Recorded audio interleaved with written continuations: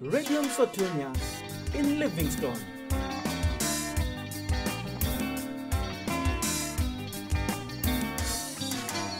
In Africa, in Zambia particular, radio is still key for, for evangelization.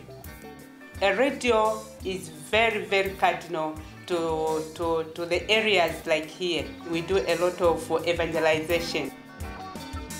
We have many priests, sisters, and people who come to make programs economical, spiritual, and social programs.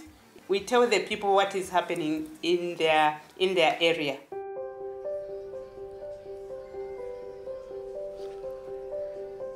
The majority of the human resource are the volunteers. We don't pay them. There's nothing we give them, but that we normally appreciate them. So in last year, we thought of having to source for funds to buy the bicycles for the volunteers. It is just a token of appreciating that they can be reaching the radio station faster than walking. They, they take a lot of time. The tower really is our, our greatest need, in fact. The people who made them, they were not experts. People or young people from parishes who were just who were trying their best to put things together. Somewhere it is bent, some knobs have fallen off. It's a risk. You know, anything can happen. It's not really in good shape.